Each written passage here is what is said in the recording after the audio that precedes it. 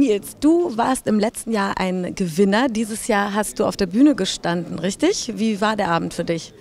Ja, ich hatte die schöne Aufgabe, den Echo für das Lebenswerk an Duschko Golkovic zu vergeben. Ein wundervoller Trompeterkollege und das macht großen Spaß natürlich dann. Wie gefällt dir das, dass der Echo Jazz jetzt zum zweiten Mal in deiner Heimat in Hamburg ist? Würdest du sagen, das ist der perfekte Ort dafür? Ich finde es super, also von mir aus kann es gerne so bleiben.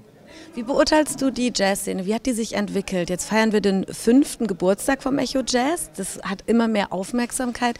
Wie hat sich aus deiner Sicht die Szene verändert?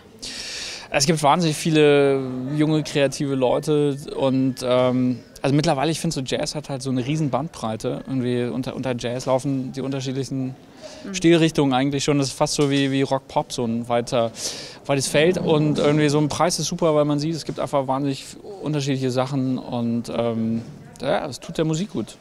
Dein Fazit des Abends, was war für dich außer deiner eigenen, deines eigenen Einsatzes dein persönliches Highlight? Und ich sage, mein persönliches Highlight war, Duschko zu treffen. Und ich glaube, jemanden so mit 82 so zu, zu, erleben, irgendwie noch so vital, kreativ Trompete zu spielen, das ist einfach echt schön. Schön zu sehen. Danke dir. Schönen Abend noch. Tschüss. Ja.